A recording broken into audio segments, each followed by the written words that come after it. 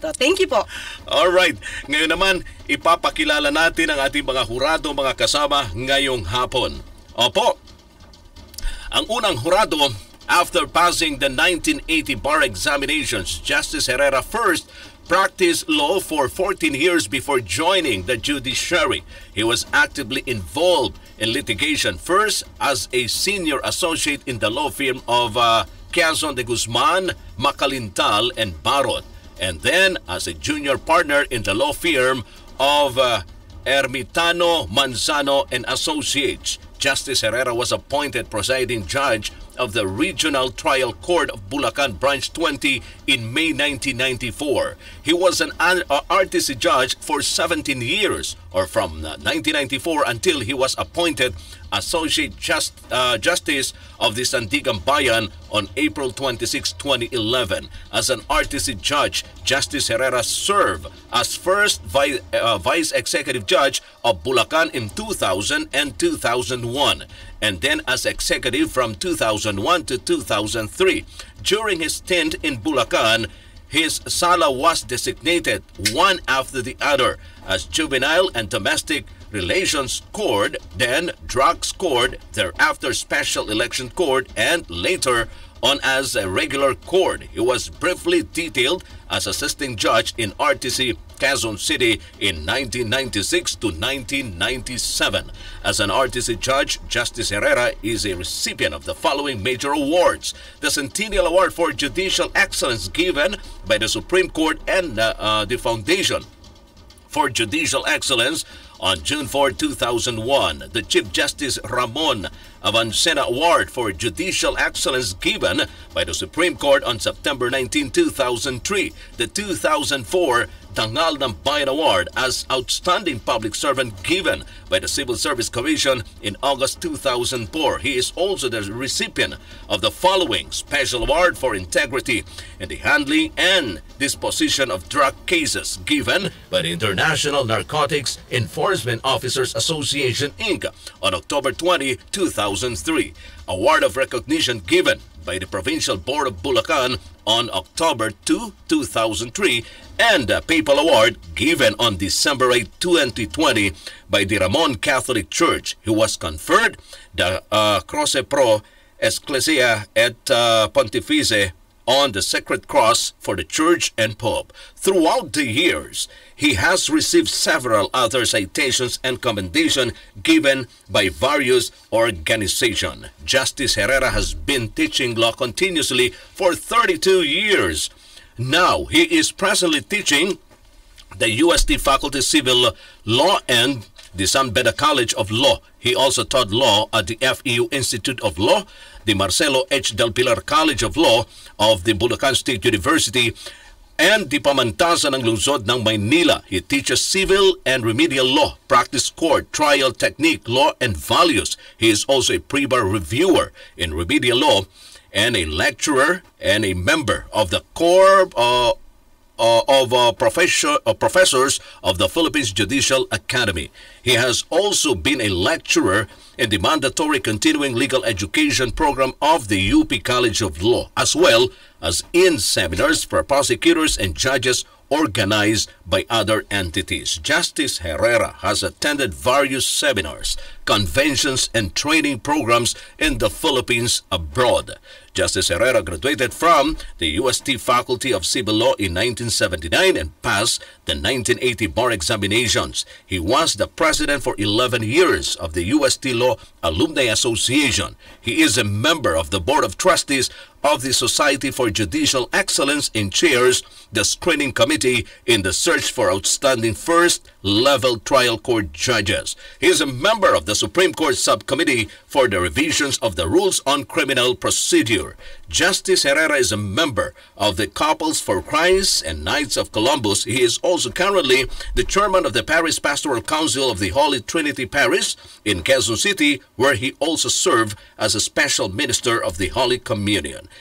He and his wife headed the family and life ministry of the parish. Justice Herrera was considered by the Judicial and the Bar Council for uh, promotion to the appellate court more than 20 times. He made it 12 times to the short list of nominees uh, submitted by the JBC to former President Gloria Macapagal Arroyo. Nine times for the Court of Appeals and three times for the Sandigan Bayan.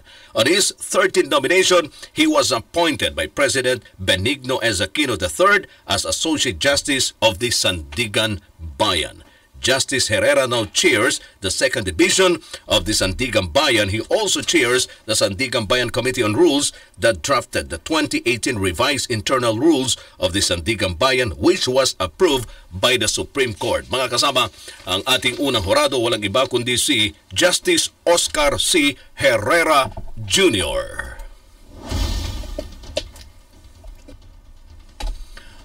Opo, uh, paki Uh, Justice nakamute. Just nakamute po kayo. Uh, maraming salamat po. Napakahaba naman ng uh, introduction.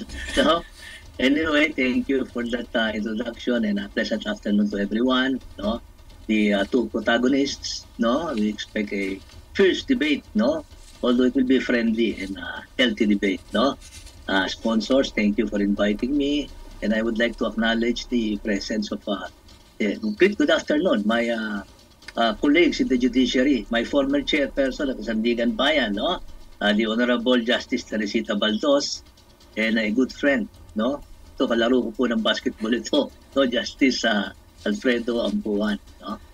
Good afternoon, and uh, thank you for that introduction. Uh. Good afternoon, Justice. Thank you po. Ang ating susunod na hurado naman mga kasama, Excellence is never an accident. It is always the result of high intention, sincere effort, and intelligent execution. It represents the wise choice of many alternatives. Choice, not chance. Determine your destiny. It is on this uh, premise that uh, I will take you down the road to know our guest of honor. Probably it is the most significant, if not the best and memorable occasion I have ever attended. Okay. Uh, his academic and professional records are par excellence. He finished his elementary grades at the Sawang Barrio Elementary School, Kapul Northern Samar as class valedictorian. A consistent first honor in first and second year high school at the Treasure Island Academy. Kapul Northern Samar and later transferred to Manila at the Philippine College of Criminology and graduated as class salutatorian. He graduated Bachelor of Science in Agriculture and Biosystems Engineering at the University of Eastern Philippines and is a licensed agricultural and biosystems engineer. His professional career was launched when after graduation he was immediately hired as instructor 1 of the UEP College of Engineering, having obtained the number 1 rank in the computation of grade point average among the graduates, hence a class valedictorian partida dubbed as Drunken Master. He served the College of Engineering for nine years. Then he became the Dean of Academic uh, uh, Mariners Polytechnic College in Naga City for six years. He graduated with a Juris Doctor Bachelor of uh, Laws degree at the University of Nueva uh, Caceres in Naga City. Case okay, with uh, VP Lenny Robredo, his classmate and is a member of the Philippine Bar. Having passed the bar exam, he became the first engineer lawyer of Northern Samar. He engaged in public uh, uh, private practice as a lawyer for five years and uh, being then the in-house counsel of the Crusade Against Violence with Senator Escudero, a lawyer of the Volunteer Against Crime and Corruption. After five years of private practice, he joined the Public Attorney's Office in Pasay and Naga for three years. After um, which he was appointed as professor of the UP or UEP College of Law.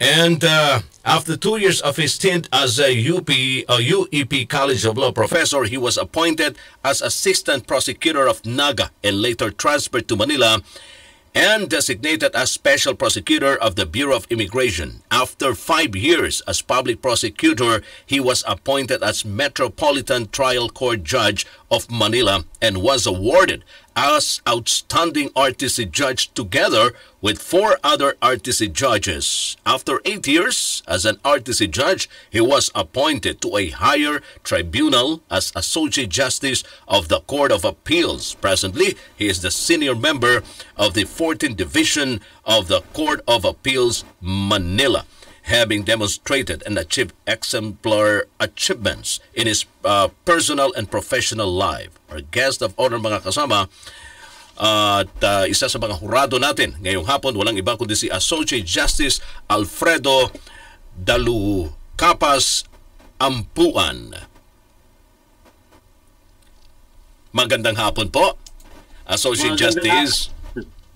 Good afternoon, Justice. Thank you for the time. Magandang, good afternoon, classmate. Thank you po. Uh, Attorney Claire was my classmate in the uh, Masters of Law degree at the University of ah, at the UST.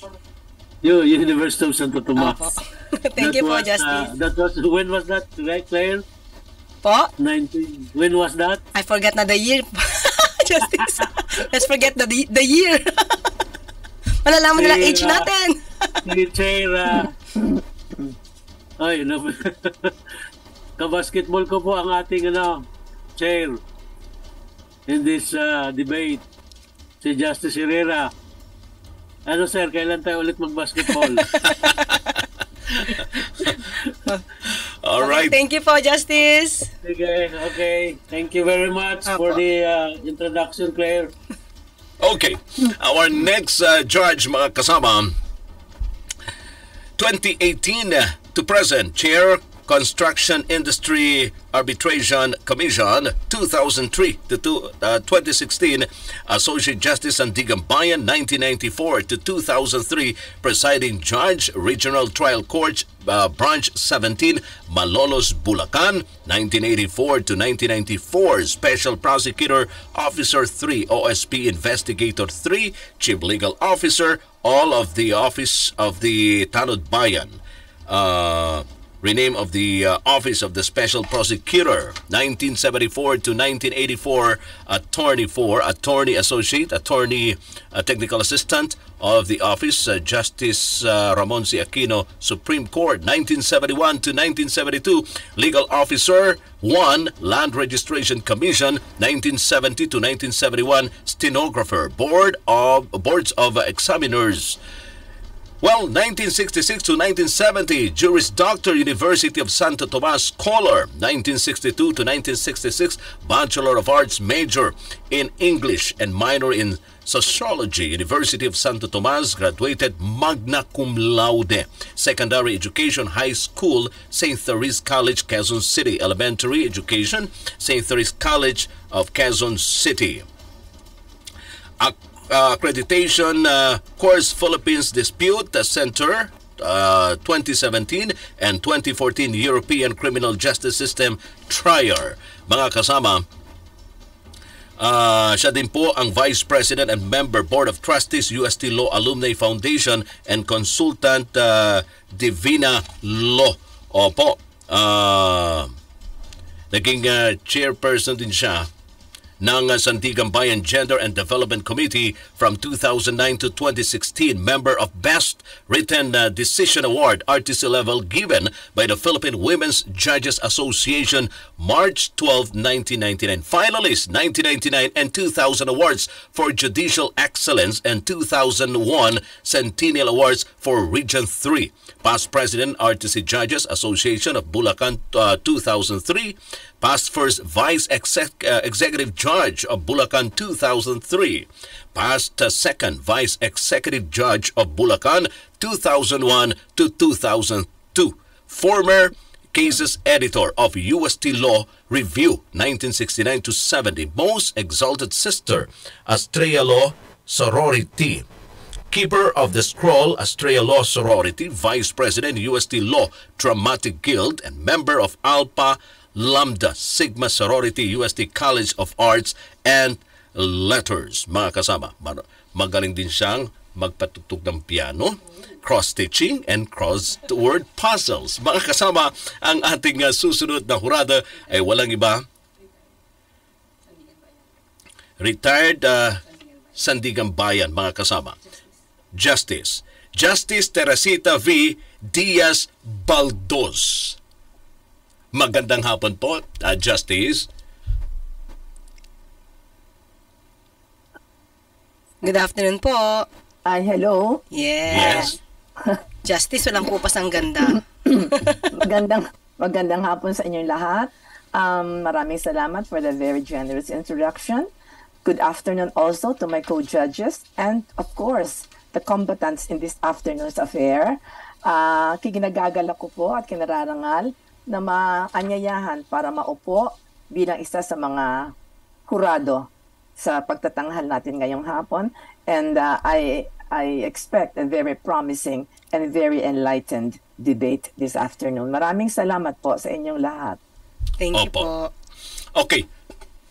At bago po tayo mag-umpisa, paalala lang po, ah, gusto po nating sabihin sa ating mga nanonood sa YouTube at yung mga nanonood sa ating Facebook Live, wag po ah, wag niyo po munang ah, ila-live sa inyo pong mga ah, sariling Facebook page at gusto natin lahat po tayo ay nakatutog lang rito sa iisang ano po no platform ng ah, DCXL yung YouTube namin at yung Facebook para nang sa ganon lahat po ng inyong mga opinion, lahat po ng inyong mga komento ay po pwede iisa lang po ang ah, babasahin natin rito sa ating special na presentasyon ng ating ah, programang Usapang Batas ang The Debate.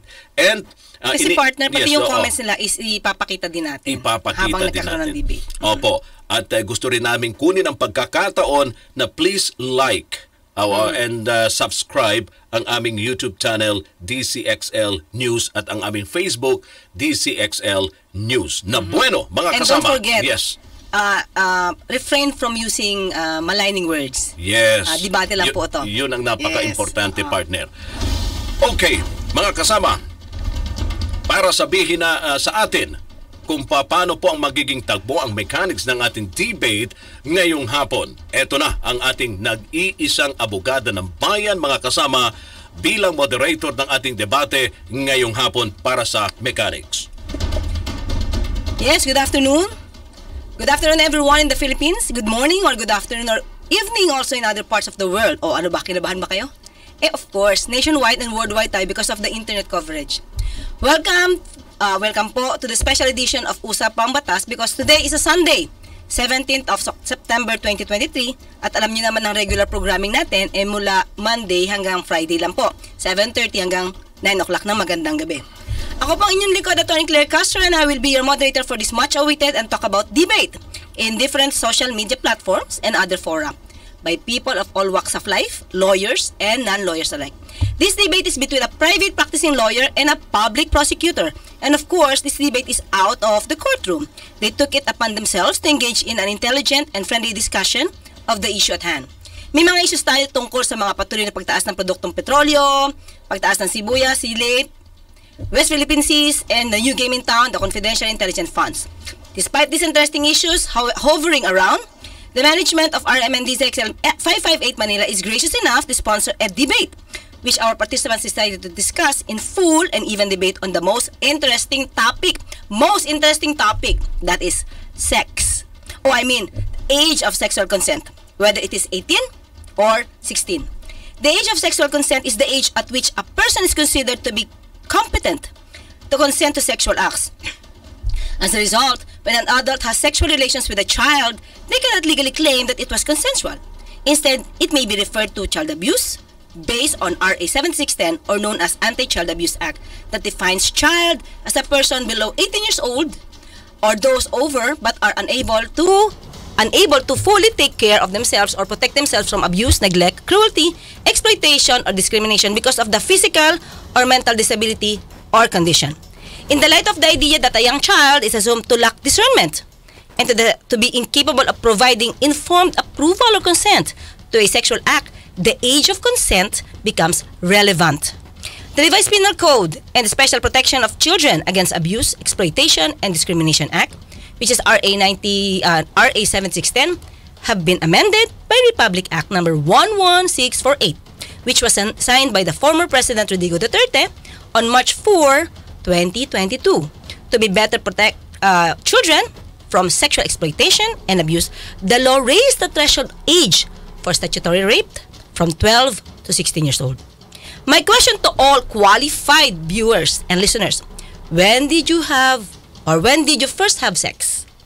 Oops, MRTCB, MTRCB, excuse me po, for uh, academic and legal purposes only. Nothing scandalous nor indecent plays are meant. Let's go back to our senses. Try to recall, reminisce, and savor the moment. Maybe some of you are smiling, some of you are pr- proning. Um, but anyways, we need parental guidance. Striktong patnubay ang kailangan for those who are still minors watching us. To all parents out there, do you approve the idea that your underage child be active in sex? When is it acceptable for a child to give his or her permission for sex based on our existing laws and jurisprudence? I can see some eyes rolling. Hold your horses, catch your breath. Don't make any violent reactions because we are not yet in the main event. This is not this is just an intro of our topic for today's debate. Save those feelings with the debaters' explosives on the topic. And so because of this, we are very honored and thankful uh, for the privilege of having the presence of our three legal luminaries uh, who were welcomed a while ago by our uh, host. Uh, of course, Justice Teresita Diaz Baldos, uh, Justice Alfredo Ampuan, and our uh, Chief Adjudicator, Justice Oscar Herrera Jr. Okay, now going back to the main event, our proposition, let it be resolved that the age of sexual consent is 18 years old. Attorney Randolph Billy Bayan will take the affirmative constructive side. Fiscal Erwin James Badayos Fabriga argues that uh, age of sexual consent is 16. Hence, he will take the negative constructive stance. We do not know what will happen after this debate, but one thing is for sure, we will gain tons of knowledge that is unquantifiable and intangible, and that is paramount. Ladies and gentlemen, this is the modified Lincoln Douglas debate format, and here are the ground rules. The affirmative will make his opening speech for a maximum time of uh, 15 minutes, after which he will be cross-examined by the negative for a maximum time of 8 minutes. Okay? Uh, a 2-minute break or prep time will be alloc- allocated in the preparation for the negative constructive speaker. The negative will give his opening speech or rebut for a maximum time of 15 minutes, after which he will also be cross-examined by the affirmative speak- speaker for a maximum time of 8 minutes. Now, a 2-minute break or prep time is given in preparation for the questions and answers uh, to be provided by the judges.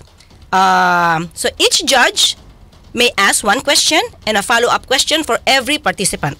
The participant is given a minute or one minute to answer the question, and the timer will start immediately after the question is completely stated by the judges.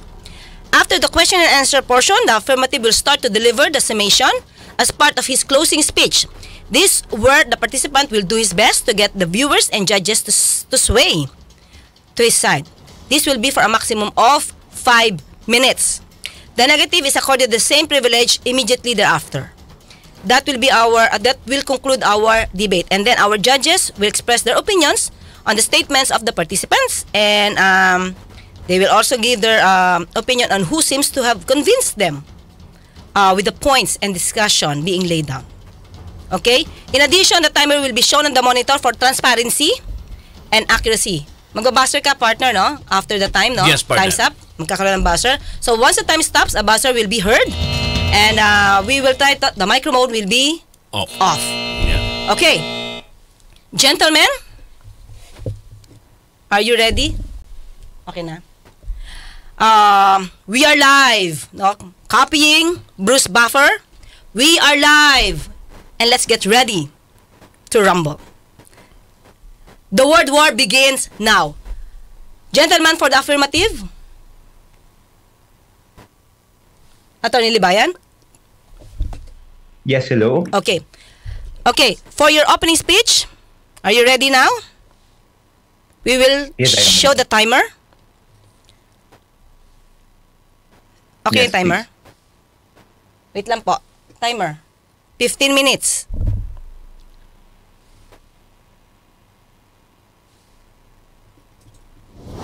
Okay? Okay. Nakita na ba ni Atty. Libayan yung timer? Parang hindi ko nakiki... Ayan na. Okay. Atty. Libayan, uh, gentlemen for the affirmative, your timer starts now. All right. Thank you very much. And uh, uh, before I start, uh, gusto ko muna pong batiin syempre uh, yung ating mga adjudicators. Like I said, uh, I am extremely humbled. And also Fiscal EJ, thank you very much for this opportunity. And uh, to the hosts, Attorney Claire as moderator, thank you very much din po. Now, so I will start. And uh, it's just fitting, I guess, that we start how actually people thought that age of sexual consent is 16 or before it was 12. Ang nangyari ho dyan is there was poison, poisoning of the well. In relation to media and all other sources, they will they, they are showing, and uh, please allow me to screen share, they are showing that the age of sexual consent was raised was raised from 12 to 16. So if you can see your screen, if a simple a simple search of uh, the age of sexual consent in the Philippines, you will see that it's 16. And if you scroll down, everything you will see here says the age of sexual the age of sexual consent was raised to 16 the age of sexual consent was raised from 12 to 16 Philippine raises age of sexual consent from 12 to 16 when in fact that is not true. Why? Because we have prevailing jurisprudence and I will show that to everyone later that is the basis That's our basis. Yun po dapat yung maging basehan natin. Batas, case law. Hindi po yung mga balita kung saan sila ay nagre-rely sa maling batas. Ito po kasing paglabas po nung uh, bill na pinirmahan ni Pangulong Rodrigo Duterte, it does not actually talk about the age of sexual consent. It is actually about statutory rape. And if you will allow me to present once again, ito po yan. The age of sexual consent is still 18. Okay, why? Ito po, no? Because a minor child still has the same definition. A minor or a child still has the same definition. What is the definition of, uh, or who are minor children? They are people who are below 18 years of age. The confusion came actually even even before Republic Act number 11648 which was enacted March 4, 2022. They said it was 12 when in fact it was not. There is a case which I'll be presenting later, the case of Udang. And it is also worthy for us to note, tignan po natin dito, no? This act is an act promoting for stronger protection against rape and sexual exploitation. We take note of the word promoting for stronger protection. How is it or how will this be a stronger protection when the age of sexual consent here as they interpret it was reduced from 18 to 16. And I will explain that to you later. Now, this is the relevant pro- pro- provision there. Section 3, Section 5B, 7, 9, and 10 of the Republic Act. Number 7610, otherwise known as Special Protection or the Child Abuse Law, it was amended as follows. Section 5, and uh, if you allow me to read, ch- child protection and other sexual abuse children, whether male or female, who for money profit or any other consideration or due to coercion or influence of an adult. I would like to emphasize on that one influence of an adult. Syndicate or group indulged in sexual intercourse or lascivious conduct are deemed to be children exploited in prostitution and other sexual abuse. So, pag titingnan po natin dito, it is clear na dito sa batas na ito, actually they are not talking about consent, they are talking about the immateriality of consent because it raised it raised the age wherein wherein uh, a person will be liable for uh, this one statutory rape and statutory acts of lasciviousness. Okay, so so now that we know what happened here, let's move on. 18 is the age of sexual consent. That was enshrined in Malta versus People, GR number 16473. Uh, it was uh, decided on September 21, 2007. It said there, unequivocally, consent of the child is immaterial in criminal cases involving violation of Section 5, Article 3 of Republic Act 7610. It was further it was further said in People of the Philippines versus Udang, GR number 16473, January 10, 2018. The same statement. Consent of the child is immaterial in criminal cases involving Section 5, Article 3 of Republic Act 7610. Okay, so in this particular case, there is there is a statement that we can actually say that age of sexual consent is 18.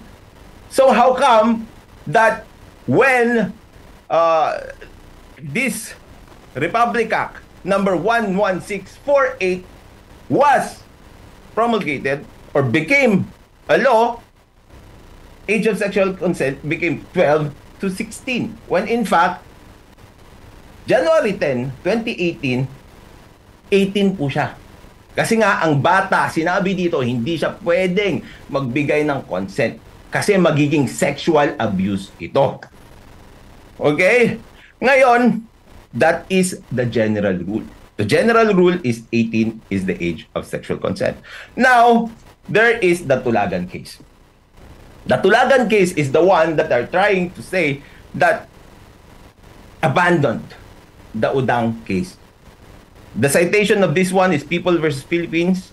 Oh, sorry. People of the Philippines versus Tulagan, GR number 223363, March 12, 2019. It's it's uh, later than uh, the Udang case. And here, it has an exception. Okay? This is the exception that they are saying that the Udang uh, that they are using saying that the Udang case is not applicable anymore but it is actually still applicable. I will quote from the case itself. It says here, we take exception, however, to the sweeping conclusions in Malto that a child is presumed by law to be incapable of giving rational consent to any lascivious conduct or sexual abuse, and that consent of the child is immaterial in criminal cases involving violation of Section 5, Article 3 of Republic Act 7610. What is the reason for the exception? Please take note, this is an exception because they would virtually eradicate the concepts of statutory rape and statutory acts of lasciviousness and trample upon the express provisions of the law. Now, ladies and gentlemen, how did this Tulagan case overturn or abandon the Udang case? It did not. 18 is still the age of sexual consent, and I have another case to show you. Here, let's continue. It says here, however, considering the definition under Section 3, Republic Act number 7610 in the term children, which refers to persons below 18 years of age, are those age or those over but are unable to fully take care of themselves to protect themselves from abuse, neglect, cruelty, exploitation, or discrimination, blah, blah, blah, blah. Okay? In Malto, they said there is a sweeping statement. In this particular case, they said consent may be material and actually it can be used as a defense. So, ladies and gentlemen, it is merely a defense. Now let's go to the next one. And people of the of of uh, people of the Philippines versus Udang, okay, there was only made an exception. The rule is still for the protection of the children, for the best interest of the child. So it says here, a child cannot give consent to a contract under our civil laws. This is on the rationale eh, that she can easily be the victim of fraud as she is not capable of fully understanding or knowing the nature or import of her actions. The state, as parents patre, is under the obligation to minimize the risk of harm to those who, because of their minority, are as yet to unable unable to take care of themselves fully. Those tender years deserve its protection. Also, it says here, for this reason, a child should not be deemed to have validly consented to adult sexual activity and to surrender herself in, uh, in the act of ultimate physical intimacy under a law which seeks to afford her special protection against abuse, exploitation, and discrimination. So that's it. Now, here, even if the parents of the child, even if the child himself or herself gives consent, the state can prosecute. Because it says here, the child or the, the state can intervene intervene in behalf of a child when the parents, guardian, teacher, or person having care or custody of the child fails to or, or unable to protect the child against abuse. Now, this is my last nail on the coffin. This is a late uh, later case. It's June 14, 2021. It is the case of uh, De La Cruz versus People of the Philippines, GR number 245516. It says here, further, a child is deemed subject to other sexual abuse under Section 5 of Republic Act number 7610 when the child is subjected to lascivious conduct under the coercion and influence of any adult. Ladies and gentlemen, this is June 14, 2021. The, the, the Tulagan case is 2019. Case law clarifies that intimidation need not necessarily be irresistible. It is sufficient that some compulsion equivalent to intimidation annuls or subdues the free exercise subdues the free exercise of the will of the offended party. This is especially true in the case of young, innocent, and immature girls who could not be expected to act with equanimity of disposition and the nerves of steel.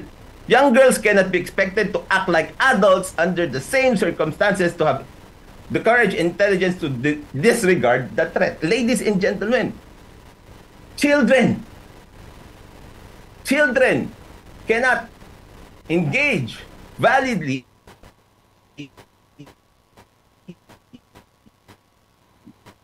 sexual consent because adults and ladies and gentlemen, it also it also said in this particular case, it cannot be denied that the presence of coercion and intimidation is attendant in this case.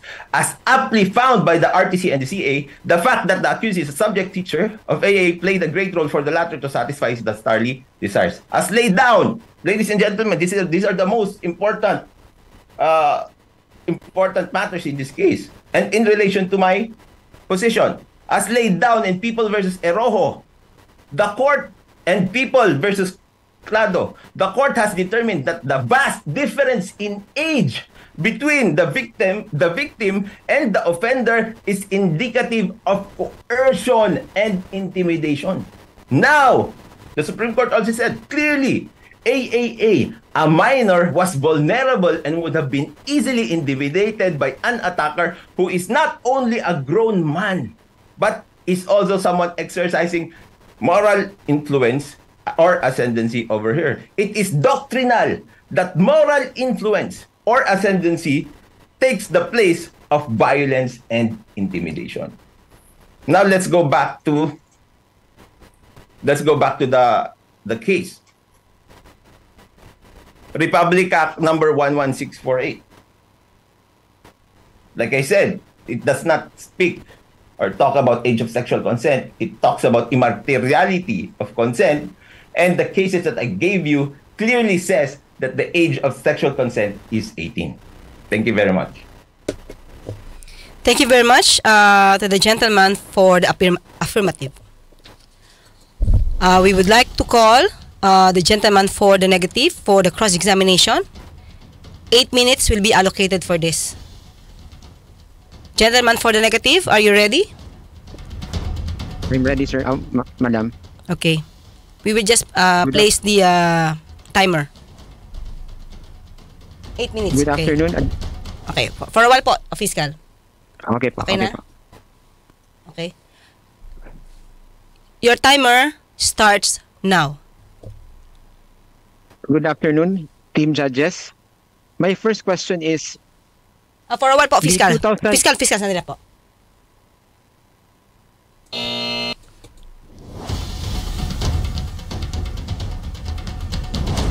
Lagyan lang po natin yung timer para po ah, may guide. okay Okay na. po. Your timer starts now, sir.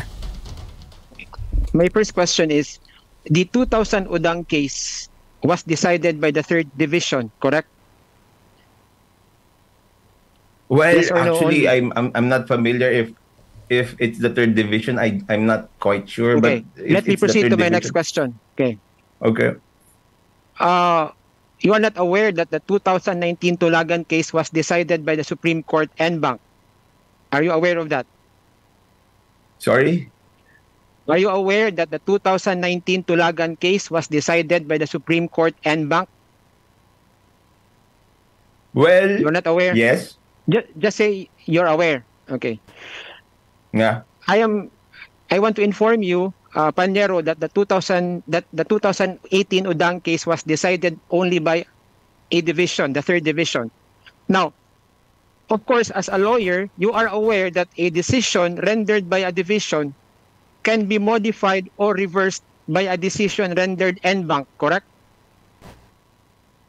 Yes. Yes or no only? That's a very categorical question. Uh, He answered yes, sir. Uh, I heard it. Okay. Now, do you also agree that the pronouncement in Udang was just taken verbatim from the decision in Malto? Yes. And uh, with respect to the new case that uh, you brought up, was that decided by a division or decided en banc? Why is that material? Let, let me Do check. not, a- do not ask me. I'm asking you. Well, I, I, I, I did not actually see if it is decided by a division or or en bank. Okay, so you are also aware that even with that new decision, assuming it is decided by a division, you are aware that a decision rendered en banc cannot be modified or reversed by a decision rendered only by a division, correct? Can, can you can you come again? Are you aware that a decision rendered en banc cannot be modified or reversed by a decision rendered only by a division? You are not aware of that, Panero? The a decision by a- division can be modified by a decision of the Supreme Court and bank. Is There is a you- decision is that banc. saying? There, okay, let me repeat. There is a decision en banc. Do you agree that a decision en banc cannot be reversed or modified by a decision rendered only by a division? Do Of you agree course, to that of course. statement? Okay. Now, off to another topic. Do you believe, Panero, that before an accused can be convicted of sexual abuse under Section 5B of RA 7610, the prosecution must first prove that the child was subjected to the coercion or influence influence of an adult syndicate or group, correct? Yes, as an element of the Oh. crime. So if there was no coercion or influence of an adult syndicate or group, there would be no violation, correct? Yes. And the consent of the child would be material because since there was no coercion or influence coming from an adult, then she could validly give consent to such sexual act, correct? Well, I have to disagree with that one. I say Okay, I cited me- several cases already. Okay. Let me proceed to my next question. Of course, it is your stand that the age of sexual consent is always 18, correct? Yes. In fact, you even said that there is a Supreme Court decision that states that the age of sexual consent was never 12 and that it was always 18, correct? Sorry? Was that part of my presentation? You're talking about sexual consent, Panero. I am, I, this is in Yes. relation to your claim that the age of sexual consent is 18. So this is very material. Yes. Okay. Mhm. Now, what is that SC decision that you claim that uh, the age of sexual consent was always 18? Was was was 18 is the Udang case and the Malto case. On in the 22 minute and 8 second mark of your live stream on March 7, 2022, you said, and I quote, meron tayong video na ganun eh. Balikan nyo yun. May sinight ako na batas doon na sinabi ng Supreme Court na it was never 12 and it was always 18. Is that referring to the Odang case, Banyero? Wherein the Well, Supreme Court I, I think that's that's not part of this debate already because that's my live stream.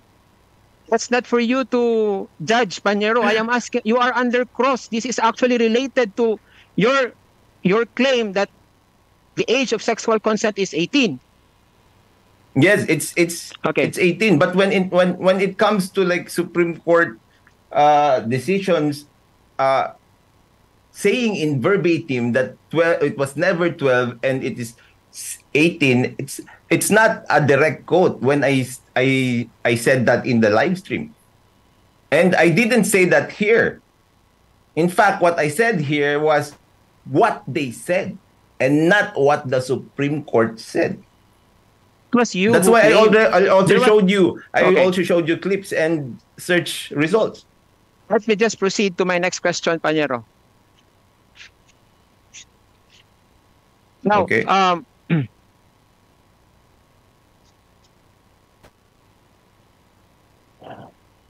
you said that the general rule is 18 and the exception is 16. What is your basis for saying that? I, I did not say the exception is 16. I did not say the exception. is- There be there can be exceptions. Just like what they said in the Tulagan case. I think you must misunderstood what I said. I didn't say 16 is the exception. There can be exceptions. Like what they did in the Tulagan case. By the way, uh, is it your stand that the legal age of 18 is also the age of sexual consent? Well, that's that's what I'm trying to prove here. Okay. 18 is okay. the age of sexual consent. Okay, okay. Let me proceed to my next question. Um, in relation to your claim that 18, the legal age is also the age of sexual consent, uh, what is your basis for saying that 18 is 18 as the legal age is, is also the age of sexual consent?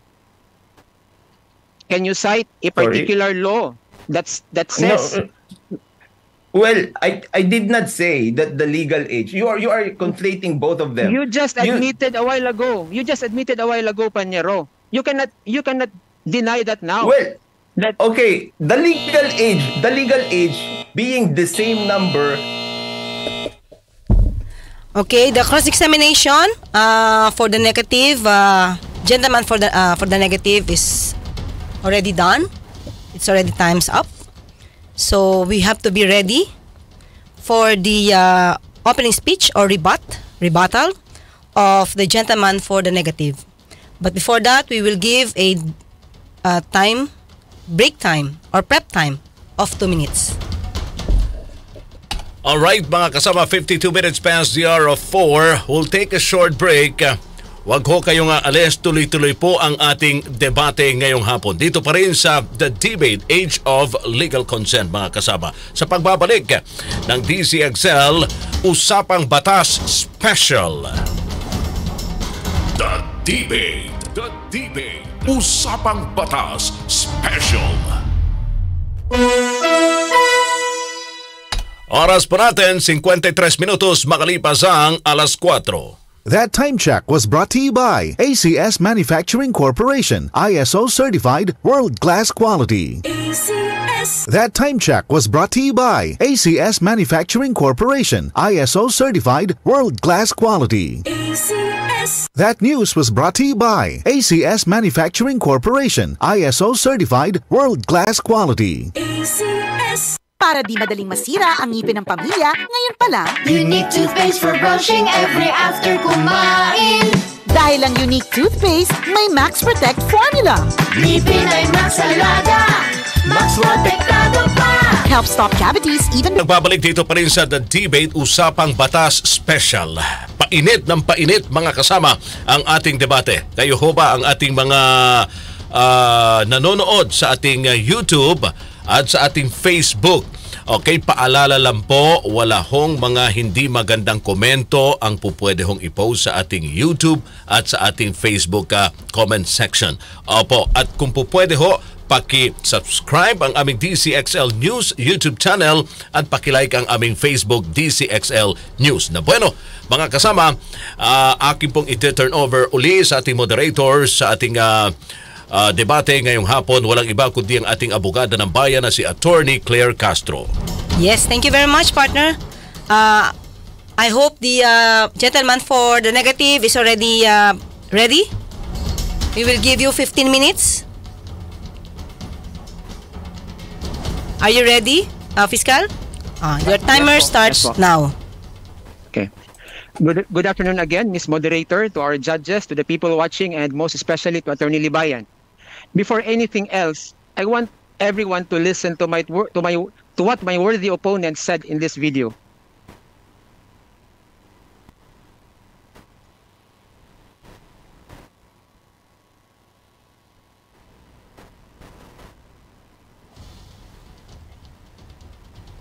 Uh, Manila, President Rodrigo Roa Duterte has signed into law a bill raising the age of sexual consent from 12 to 8, 16 when in fact it was never 12.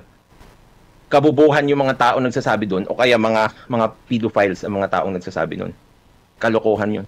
Sabi niya, I'm sorry, but labeling us as pedophiles is an unfair and outrageous statement, especially coming from a lawyer who has a half a million subscribers under his spell. I am here to tell everyone, especially to Attorney Libayan, that we are not the pedophiles you unfairly picture us to be. Yes, we believe that 16 is the age of sexual consent, not because we are pedophiles or PDF file protectors, as you sarcastically call us, but because this is what the law and jurisprudence so provide. And contrary to what you want to impress upon your audience, hindi po ito bat usapin tungkol sa pagkakraft ng batas. Debate po ito tungkol sa ano ang nakasad sa batas, 18 ba or 16, at yan po ang dapat nating pag-usapan. So ano ba talaga ang age of sexual consent? It is that age where a minor can rationally decide for himself or herself whether or not to engage in any sexual activity with another person. Unang punto po, when we talk about age of sexual consent, it should always refer to a minor. It does not refer to a person of legal age.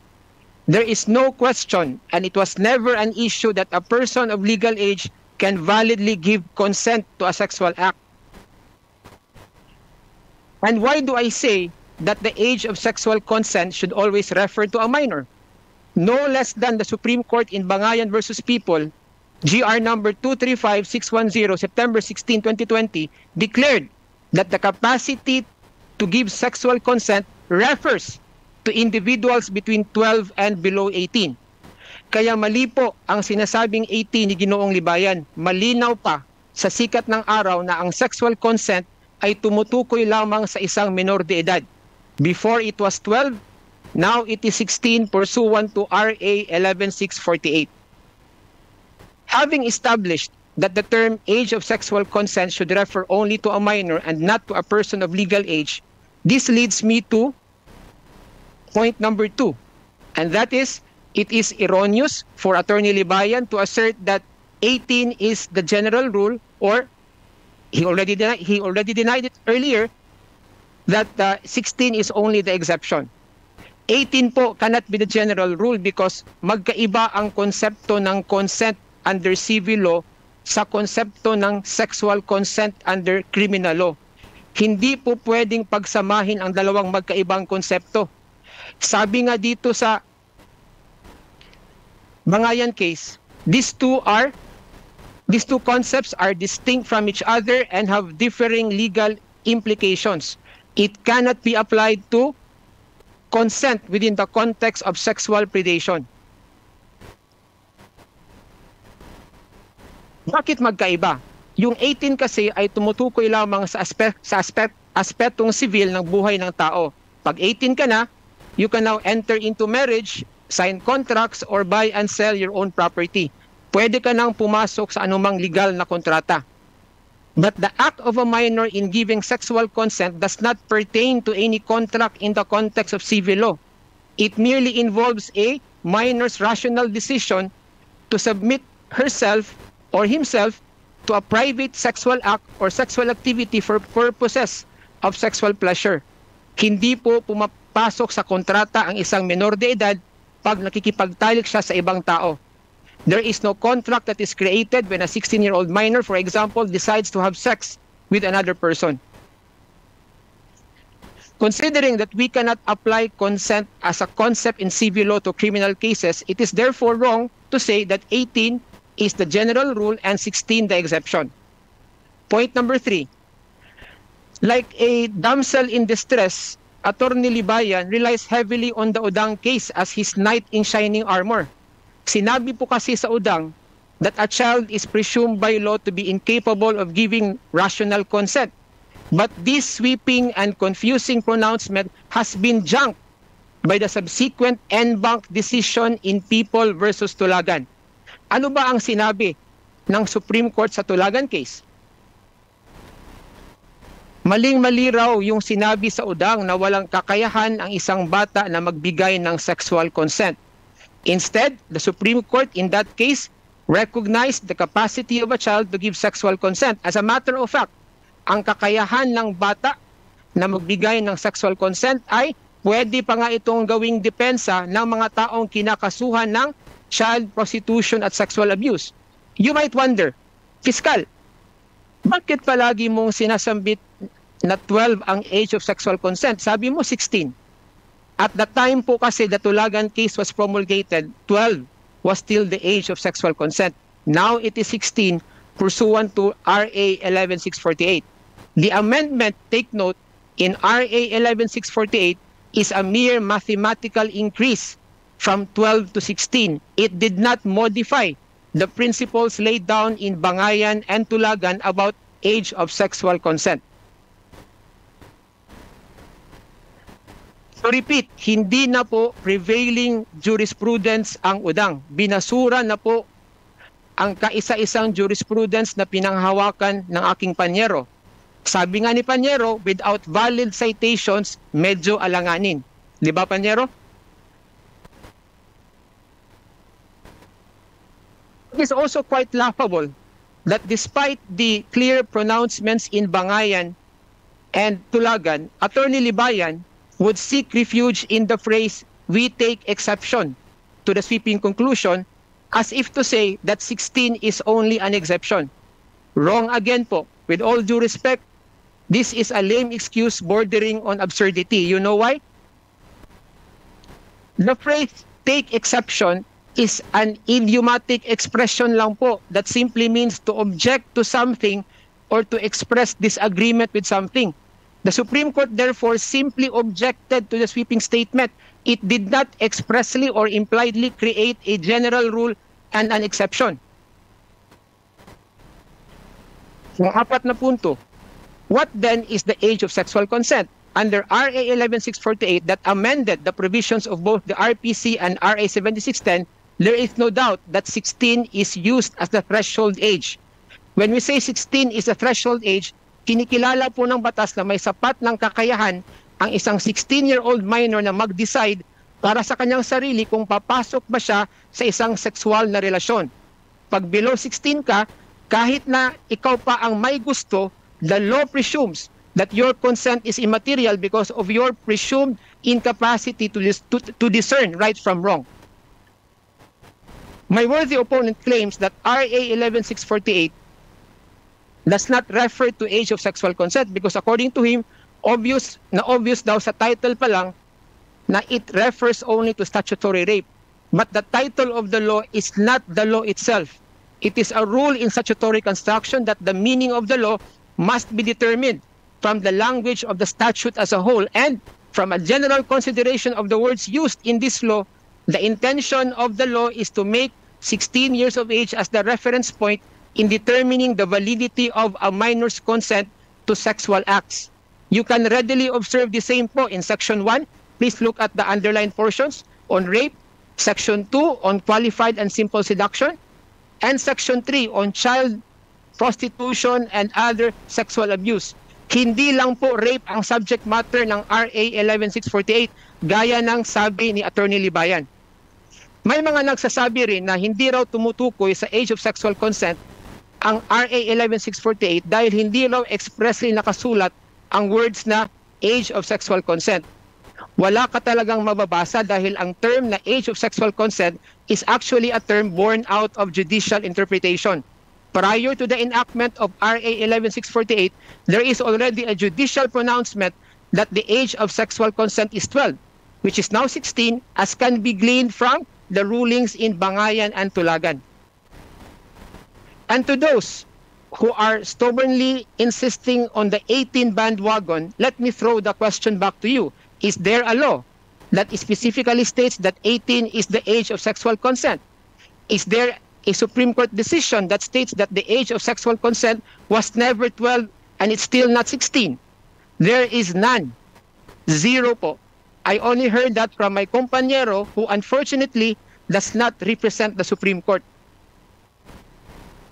What is ironic po is that my opponent who claimed in one of his live streams that he has never heard of 12 being the age of sexual consent and who still claims to this day that it was never 12 and it's still not 16 debunked himself when in another live stream he even read the separate concurring opinion of Justice Leonen in the Tulagan case recognizing and acknowledging that the age of sexual consent is 12 which is now 16 under RA 11648 Ah, okay. Okay, tama, tama. O, bago tayo pumunta doon.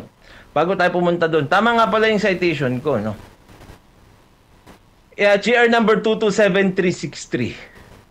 Ito yun. Hindi ko alam kung bakit hindi ko ma-search kanina. Ang haba kasi nito. The age of sexual consent in the Philippines is 12 years old, period. 'Di ba? According to the United Nations International Children's Children's Emergency Fund, this is one of the lowest globally and lowest in the Asia Pacific re- region. The average age of consent is 16 years old. Diba? The age of major- majority, however, is 18 years old. Minors or those below 18 have no capacity to enter any contracts or marriage. Yet strictly reading the provisions Yet, strictly reading the provisions of the revised penal code, any minor above 12 years old may validly consent to sexual intercourse and lascivious conduct with an adult. Number 5. The passage of RA 11648 likewise reflects the legislative intent setting 16 as the threshold age for giving sexual consent. No less than Senator Ontiveros, the principal author herself, categorically acknowledges that RA 11648 was passed for the purpose of raising the age of sexual consent from 12 to 16. Tinawag niya pa ngang Age of Sexual Consent Act, ang RA 11648. The passage of the said law is also actually in line with the recommendation of the 2016 UN Committee on the Elimination of Discrimination Against Women and the recommendation of the UN Committee on the Rights of the Child to raise the age of consent in the Philippines from 12 to 16. Ano ba ang significance ng mga UN conventions na ito? The Philippines being a signatory to these conventions, it cannot neglect its international obligation to put into fruition the recommendation of these committees to raise the age of sexual consent from 12 to 16. These, rec- these recommendations are the reason why RA 11648 was passed into law po. So nakita nyo na, United Nations na ang nagsabi na 16 dapat ang age of sexual consent. Take note, 16, hindi po 18. So kung tama yung paniniwala ni Panyero na 18 dapat, eh bakit 16 yung inirekomenda ng iba't ibang delegasyon ng mga eksperto na nagtataguyod sa kapakanan ng mga bata at kababaihan? With these categorical pronouncements in Bangayan and Tulagan, coupled with the clear mandate of RA 11648 and backed up by the UN by the said UN conventions, there is no doubt in my mind that truth is on my side. Hindi pala kami ang fake news. Back to you, Miss Moderator. Thank you very much uh, to the gentleman for the negative. Okay, we will give time to uh, Attorney Libayan for his cross-examination. Are you ready, Attorney Libayan, gentleman for the affirmative? Are you ready for the cross-examination? Yes po, I am ready. Okay, we will give you 8 minutes for a while po. Okay na? Okay, your your cross-examination starts now. Okay. Um, my first question is, uh, you you read in the Tulagan case that uh, uh, consent can be defense, a defense, right? Yes, yes. That means if you have sex with a minor, you can be sued and use that as a defense, right? Yes. My point there is you can still be sued. Correct? Does it matter? It does not prove your point. Yes. Yes. Okay. Now, you said that uh, the concepts of uh, the consent in civil law and the concept of giving um, sexual uh, consent is different, correct? Yes. But the number can be the same, right? Pardon? Come again? But the number can be the same. I am sorry, I do not get your question, Attorney Libayan. Can you can you repeat the question? What, what I mean is, what I mean is the age of sexual consent and the age, the legal age in uh, giving consent in relation to uh, civil obligations can be the same number, meaning 18, already- correct? I, al- I already pointed out that there is no question and it is not an issue that a person of legal age can validly give consent to a sexual act. That's not the Just issue. please, please, just just just answer yes or no if the number can be the same. Yes, with qualification. Okay. Also here in uh, you you you mentioned you said that uh, that um, Tulagan overturned or abandoned Udang, correct?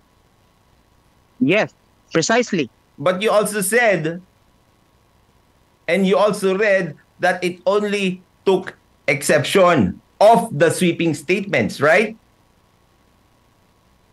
You have different meanings to take. Ex- so I, I, I Yes, don't agree yes to or your. no, yes I don't no. agree. May we ask no, the uh, no. gentleman no, for the negative to answer? No, if, no. If the ans- if the question No. is answerable by yes or no, kindly answer yes or no. No, no, no. Okay. Now, I will read to you the exceptions. One moment.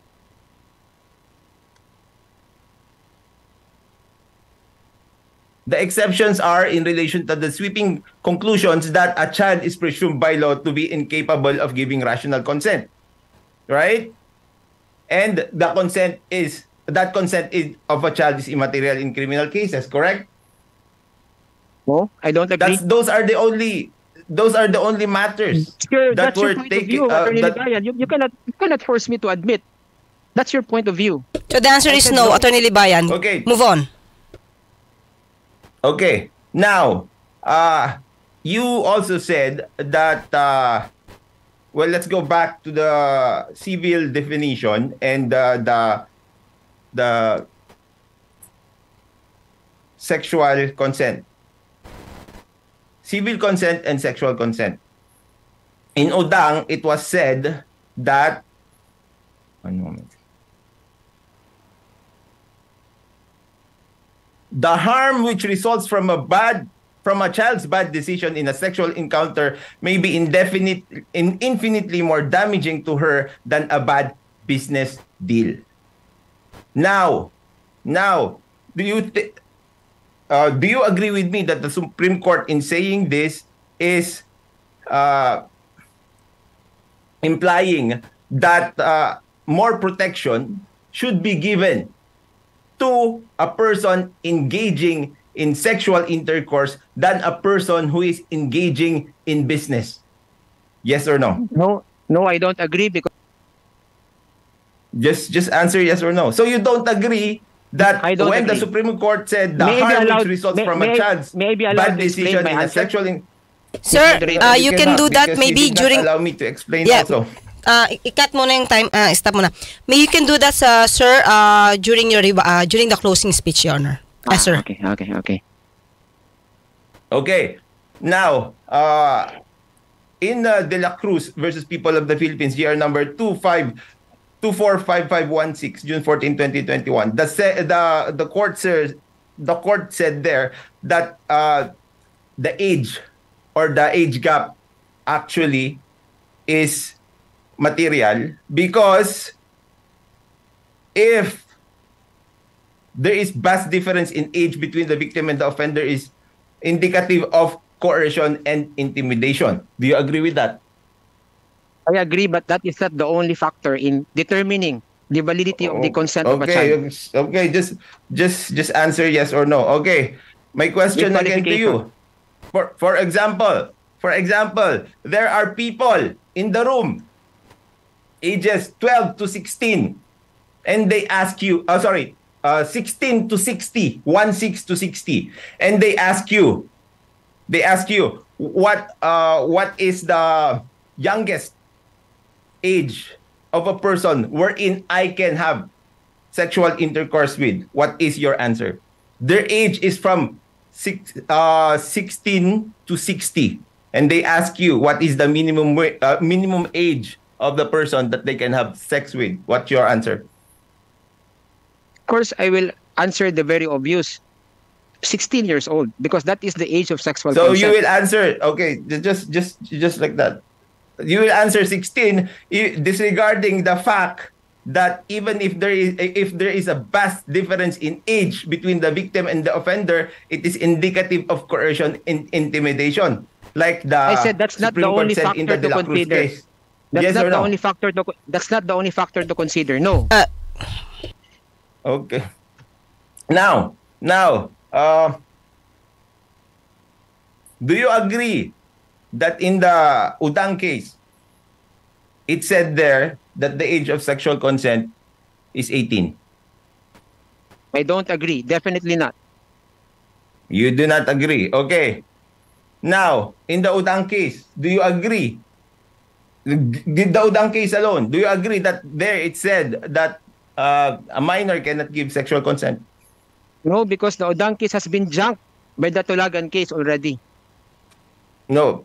Well, and you and in relation to your your uh, questions um about uh NBank and uh, Supreme uh, NBank decisions and uh, division decisions, do you agree with me that the Supreme Court, even if it decided in NBank and uh, in divisions, they still form part of the law of the land? Yes, but with qualification. Okay. Now,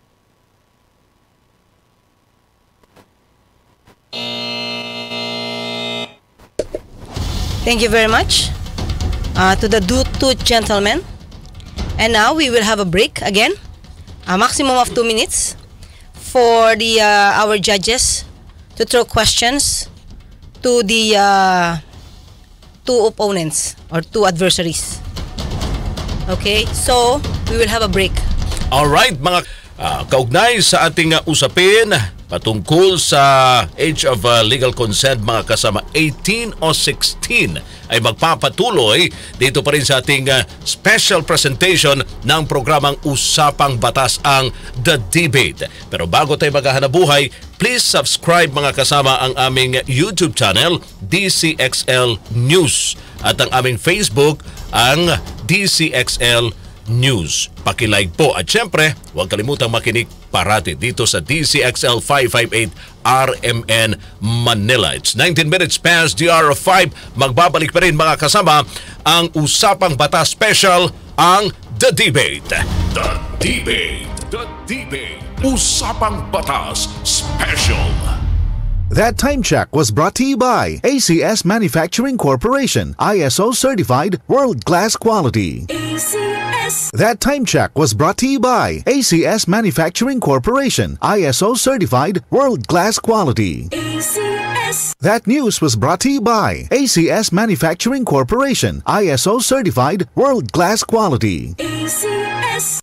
Sunford Vitamin C, ang alkaline na vitamin C. Ako si Eric. Dati ang hina ng katawan ko. Maambunan lang ng konti, nagkakatrangkaso na agad ako. Pero after ko mag-take ng Santone Vitamin C regularly, malakas na ang katawan ko. Sunford Vitamin C, ang alkaline na vitamin C. Mabibili sa pinakamalapit na butika sa inyong lugar.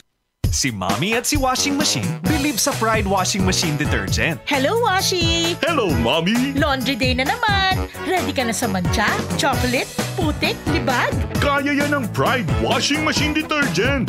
May triple stain-away formula. Tanggal ang makapit, madikit, at malupit na dumit mancha. Easy-easy ang labada. Mula noon hanggang ngayon. All you need is pride. All you need is pride. Pride Detergent, manufactured by ACS Manufacturing Corporation. ISO certified, world-class quality. ACS. People! Ako po ang inyong tita Winnie Cordero. Matanong po ninyo, bakit panatag ang loob ko sa MX3? Dahil ito ay tested and proven na may alpha, beta at gamma mangosteen, mga natural na nutrients mula sa mangosteen. Meron din itong Seal of Quality Excellence at manufactured sa GMP at ISO certified na planta. MX3 is my choice. Tunay, natural at original. Mahalagang paalala, ang MX3 capsule ay hindi gamot at hindi dapat gamitin panggamot sa anumang uri ng sakit. Sa panahon ngayon, kau ba'y sigurado? Kau ba'y protektado? Ang pamilya ay issue Balik dito pa rin sa ating uh, special uh, presentation ng uh, The Debate. Uh, at uh, balikan natin uli ang ating uh, moderator mga kasama. Walang iba kundi ang ating nag-iisang abogado ng bayan na si Attorney Claire Castro. Partner? Yes, oo. Gusto ko lang malaman ng mga viewers natin and listeners, ang papel po ng isang moderator ay para po maging maayos yung flow ng debate natin. Ah, kung tayo man po ay papasok in the middle of ah, pagtatanungan or during the Mhm. cross-examination, it's because ah, na, meron po kasi tayong timer.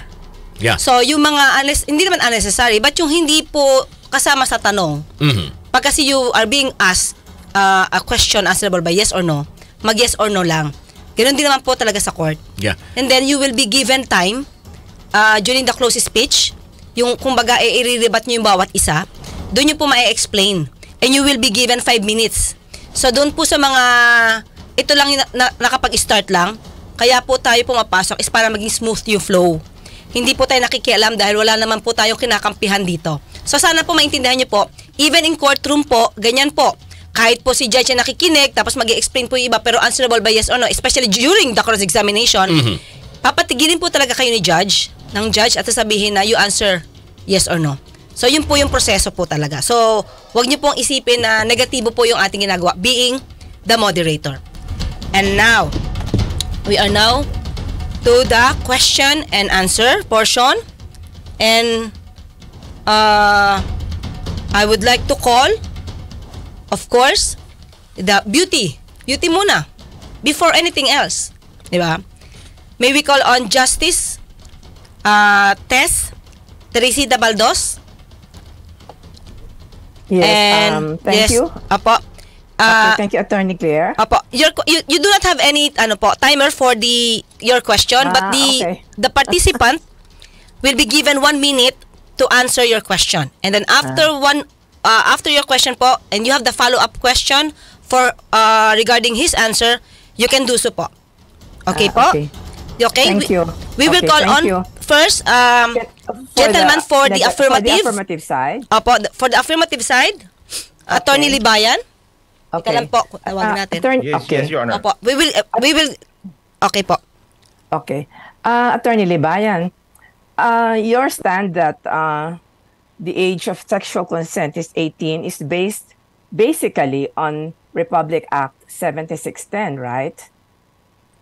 Yes, Your Honor. And some of the some of the cases that I have cited. Okay. Now, uh, in in section 3 of 7610, um, Mm. one of the the term children is defined as 18 years of age, right? And that is basically where you you base your uh, stand. Mm. Uh, minor, uh, below 18 years of 18 age. it's 18 yes 18 years of age children are considered those uh, b- below 18 years of age Yes, yes. Uh, okay now can you Yes, Your Honor. okay in the same definition of terms of 7610 which seeks to protect children against child abuse uh, there are six instances which are uh, enumerated there uh, can you tell me which of the under which of these circumstances or instances can sexual consent be interpreted to mean? Well, uh, I would like to uh, direct your honor to section 5 because it says here uh, child protection and other sexual abuse. It used the term uh, children, whether male, or female, who for money, profit, or any other consideration or due to the coercion or influence of an adult syndicate or group indulge in sexual intercourse or lascivious conduct are deemed to be children exploited in prostitution and other sexual abuse. In this particular section, Your Honor, it said that uh, a child, a child who is influenced by an adult is deemed as a person who is sexually abused. Um, but this concerns child. The sec the sti- the section that you cited concerns child prostitution, right? Yes, no, So not, not is- only child prostitution, No. Your Honor, also sexual abuse. Because sexual abuse is covered. Yeah, child prostitution, sexual abuse. So this means that this is for this is for uh, self gratification or for as a means of occupation for earning money, right? And not for not where uh, consent is vitiated. Am I correct? Uh, no, Your Honor, because it says there. We will give Attorney other Libayan 30 abuse. seconds to answer So the it- question. it's 30 seconds, Attorney Libayan. Specifically, s- ah yes, uh, Your Honor, it's it said uh, child prostitution and other sexual abuse. So it is very broad, Your Honor. so Ah. it's not only about prostitution. Okay, so uh, my time, I mean, my turn is up. Yes, yes, yes, Justice.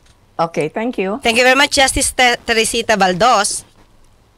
And now we will be calling Justice Alfredo Ampuan to ask questions to the gentleman for the affirmative. Thank you. Am Yes I po. clear? Yes po. Ah. now, I will just ask my question to both the affirmative and the negative. Is Justice, Justice, uh, ne- affir- affirmative muna po. Ah, parehas eh. Okay, affirmative. Did you mention any jurisprudence that uh, was uh, uh, promulgated by the Supreme Court in relation to uh, cons- uh, to a uh, sexual intercourse consented by a 16-year-old and below? Uh, I, I did not, Your Consented Honor, sexual because uh, relations of a 16 and below.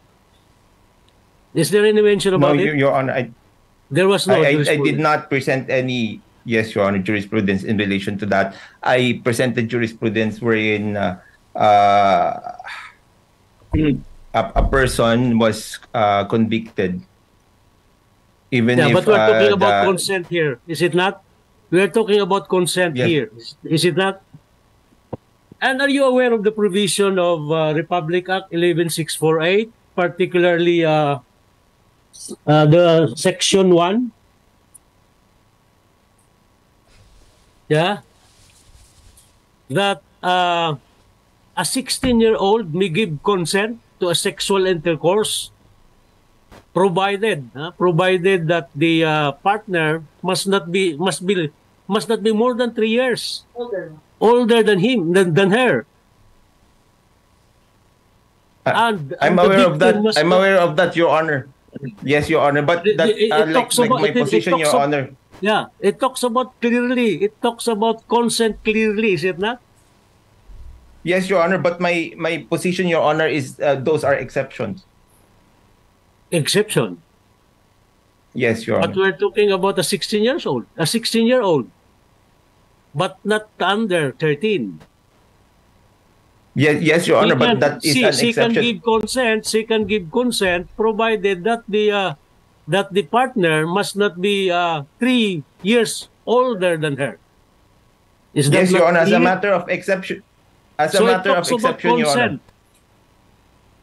Yes, Your Honor. Can can I elaborate, Your Honor? You can. So you would like Well, to elaborate uh, the law? You would like to elaborate the law? No, Your Honor. I, I would like to give an uh, an example, Your Honor, why my position is 18 years old because it is the general rule, Your Honor. Like for example, uh, in the application of criminal laws, Your Honor, the general rule. So are you is- are you it is- saying that this is a special law? Because you're talking about general. No, law? Your Honor, it, it, it, it is an exception, Your Honor. The court, my position is the court, Your Honor, can make So exceptions. if it is an exception, it will is- prevail. If it is an Sorry, exception, as you said, it will prevail. Correct? Your Honor, if it's if if it is present in the particular case, then it will prevail. But it is Yeah, not the general rule, Your Honor. It's, it's very clear. It's very clear that a 16-year-old and below can give consent, provided uh, Yes, he as- must as- not be under as a matter of 13 years exception, yes, Your We Honor. will give Attorney Libayan 30 As a minutes, matter 30 seconds to wrap up. Okay, proceed. Attorney Libayan, 30 So, seconds. so just like just like what I said, Your Honor, uh, in uh, if we compare it to the uh, uh, prospectivity of the application of criminal laws, the general rule is criminal laws are only applicable prospectively. The exception is if it is beneficial to the accused. So 18, Your Honor, is the general rule, and there are other exceptions. Okay. Okay. Okay, thank you very much. Justice Ampuan. Thank you for that questions. And now we would like to call the Chief Adjudicator, Justice Oscar Herrera Jr. Yes, uh, thank you, Attorney Claire. Uh, uh, let me first uh, congratulate uh, Attorney uh, Randy uh, Libayan for boldly taking the affirmative uh, stand no, and uh, expounding on his uh, argument. No? Uh, Attorney Libayan, the, uh, the claim that uh, the age of consent is now 16 is because of the passage of Republic Act 116481. Is that not correct? No? And Yes, uh, Honor. according to you, it is because of uh, those giving opinions, no, that this law resulted in the increase of uh, the age of consent from uh, 12 to 16, no, Yes, Your Honor. no, and that according to you, these people are poisoning the well. Yes, Your Honor. Now, this law was uh, signed by the President on March 4, 2002. No? I think Yes, uh, one of the sponsors is the Senate President himself, no? Senator uh, Miguel Subiri. No? Okay. After the signing by the President on March 4, 2022, the Senate issued an official press release, no? an official press release stating that uh, Republic Act 116481 no, raises the age of consent from 12 to 16. No? And it even quoted Yes, I saw that, Honor. Senate President that from now on, nobody can claim that having sex with a kid, the word used is kid, below 16, gave consent. No? My question is, what is your take on that uh, uh, press official press release of the Philippine Senate which passed the law? Uh, my take on that, Your Honor, is it's inac- inaccurate. Because uh, first and foremost, when they said that uh, they raised the age of sexual consent from 12 to 18, it does not follow already, Your Honor. Because uh, as uh, enshrined in the Odang case and the early case of Malto, it said a child cannot give sexual consent unequivocally. So it means, Your Honor, that there is no rising of the age of consent. It was actually reduced from 18 to 16 because of the existence of the Odang and the Malto case, Your Honor. So it is Okay. already inaccurate and wrong to say that it was raised from 12 to 16. And Your Honor, the uh, that Republic Act uh, 11648, Your Honor, if we can see in the title, it is affording greater protection. If I may, Your Honor, You I have will- 30 I will seconds, quote- I Attorney Libayan, the- to wrap up. the title an act an act promoting for stronger protection against rape and sexual exploitation and abuse increasing the age of determining the commission of statutory rape amending for the purpose of this act blah blah blah blah your honor. So if it is promoting for stronger protection it should have been uh, it, it it it's not it is it is impossible your honor that uh, protection or stronger protection was given if the age of sexual consent was reduced from 18 to 16 Okay, so that, Even that if, for example, official, that was the official statement of the Philippine Senate following the yes, Your Honor. signing into law of Republic Act uh, 116481. You're saying now that uh, there is something wrong with that uh, official statement. based on the jurisprudence your honor based on case law i think that that uh, that statement is inaccurate your honor 30 seconds to wrap up, Attorney Libayan. Well, uh, like like I said, Your Honor, Malto versus People of the Philippines uh, uh, was promulgated September 21, 2007. And uh, it says there, consent of the child is immaterial in criminal cases invi- involving violation of Section 5, Article 3 of Republic Act 7610. And it was, uh, it uh, again reiterated in the Utang case, January 10, 2018. And Your Honor, the Tulagan case that the, uh, my my opponent is saying, Your Honor, did not actually overturn this, but only took exceptions of the sweeping conclusions. Thank you very much, Attorney Libayan. Thank you, Thank you Attorney uh, Libayan. I said that's a bold, uh, uh, boldly took, taking the, the affirmative stance. No? Okay. Very bold. Thank you very much, Justice uh, Oscar Herrera Jr. Thank you po. And now we would like to call back Justice uh, Teresita Diaz Val- Baldos to ask question uh, to the gentleman for the negative. Okay. Fiscal EJ, are you ready? Good afternoon, Fiscal EJ Fabregas. Good, after- good afternoon, uh, Madam Justice. Yeah, okay. um, under Republic Act 16, 11, sorry, sorry, 11648, there is a three-year gap, three-year age difference wherein criminal liability does not attach to the offender.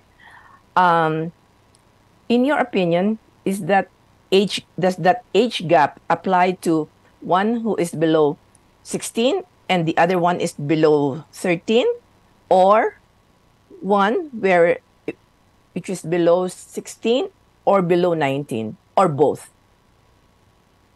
Uh, I think you are referring po to the close-in age gap rule or the Romeo and Juliet rule. Yes, Uh, under Romeo that rule po, ah, under that rule po, uh, a person below 16, uh, the partner of that person below 16 will not be liable for the crime of rape if the age difference between the two does not exceed three years. Uh, three years. Yes. Provi- pro- provided that uh, the sex is consensual, non-exploitative, and non-abusive. But that exemption will not apply, Madam Justice, if the victim is under 13 years of age po. Yeah, so you mean uh, there is no criminal liability if the other of the if the victim is below 13. No po. If if the victim is uh, below 16 and his or her sexual partner their their age difference does not exceed 3 years and the sex is consensual, non-abusive and non-exploitative, there will be no criminal liability. But when the offended party is below 13 years of age, even if the sex is consensual, non-abusive and non-exploitative, there will still be criminal liability po. Ah, okay. So, what do you think is the rationale or the wisdom behind creating this Romeo and Juliet uh, principle? I think po this recognizes the fact that uh, there's what we call in this day and age this uh, teenage predis- predisposition that they can validly give consent to a sexual act. Because if we suffocate the law by penalizing couples whose age gaps are not that much uh, different, then we might be creating more trouble than uh, a solution, Your Honor.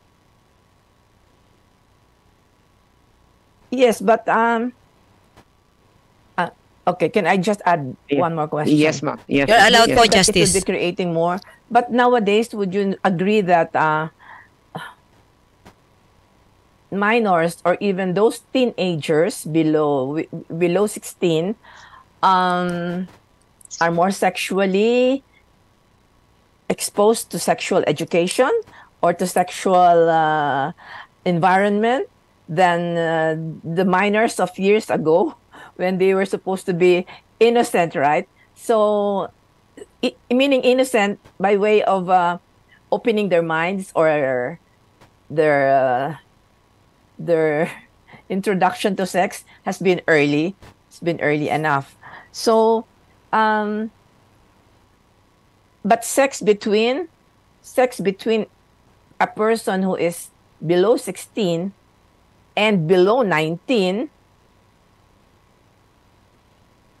because that is the three that is observing the three year gap Yes. also Yes. okay can also be uh it, it wouldn't that be abusive or uh, because the, the the offender would be a little uh already has reached the age of uh, consent or the age of reason wouldn't that the be reason- exploitative okay. also That's the reason, Madam Justice, why there is this uh, element element that uh, even if the sex is consensual, it should not be abusive and exploitative. So those three elements must exist before we can say that the sexual partner of the person below 16 will not be criminally liable for, for statutory rape. Ah, okay sige thank you Thank you very much, Justice uh, Thank you, ma'am. Teresita Baldos. Thank you, ma'am. And now we would like to call Justice Alfred Ampuan.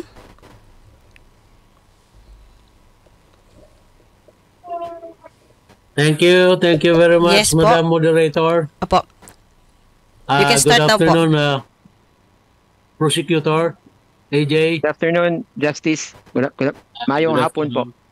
Mayong hapon. Maupay nga hapon. Maupay nga hapon, sir. okay, uh, our topic for today is very specific and very simple. It's just about giving consent to a sexual uh, act, right? Yes, is Your it Honor. uh, is it 18 or 16, right? Is is it not Yes, the Your Honor. question? Th- This is the Yes, only Your thing Honor. that we must resolve. Right? So the pre- the jurisprudence that were mentioned a while ago by uh, the affirmative and the negative, did it relate to consent to sexual act? Related po.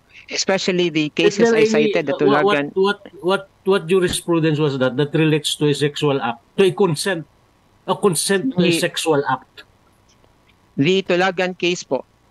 as well as the Bangayan case po. Okay. So, Yes but po. that was uh, promulgated when?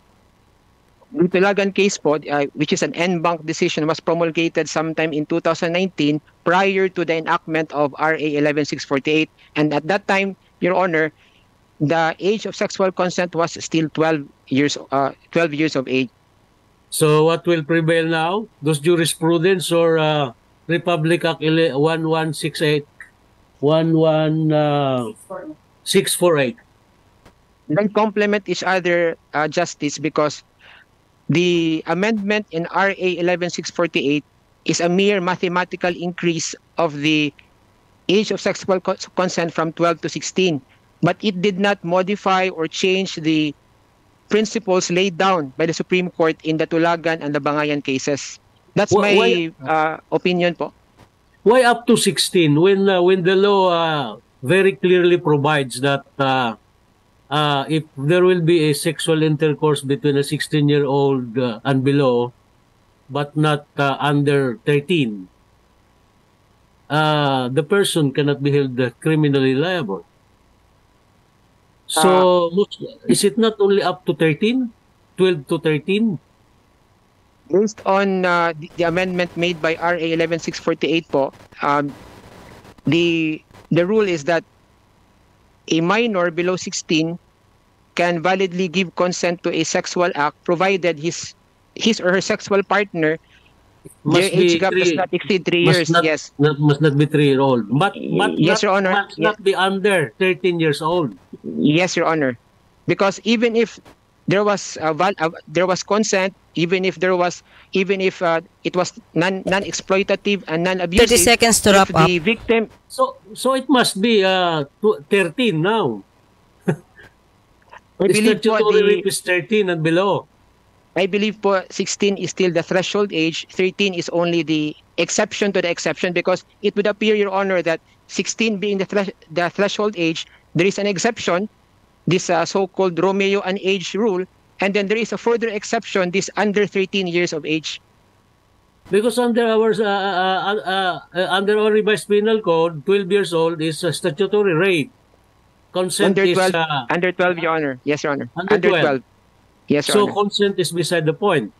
Now it's under 13, Yes, Your Honor. right? Yes, Your Honor. Okay. Thank you very much, Justice Alfred Ampuan. And now we would like to call on uh, Justice Oscar Herrera Jr. Oh, statutory under 13.